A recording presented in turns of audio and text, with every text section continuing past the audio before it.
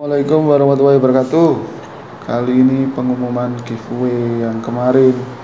Jadi manakah yang lebih ramah lingkungan Material alam atau material industri? Ini ada jawaban dari Tritini Irma.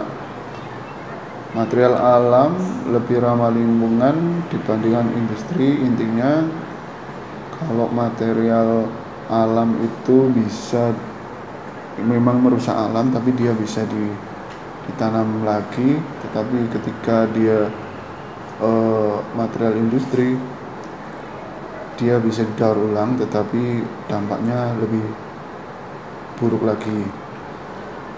Ada juga Putri Dewi ini juga jawabannya cukup bagus.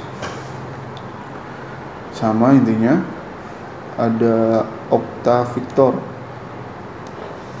Ini juga jawaban cukup bagus dan lagi saya menggunakan saya mendapatkan jawaban yang cukup bagus dari Kabibul Jaya Agung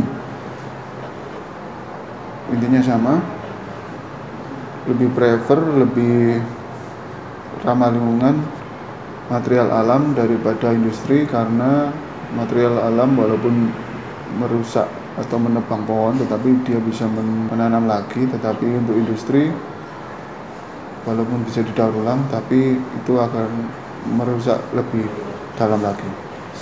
Saya pilih dua Tritini dan Kabibul Jayatu selamat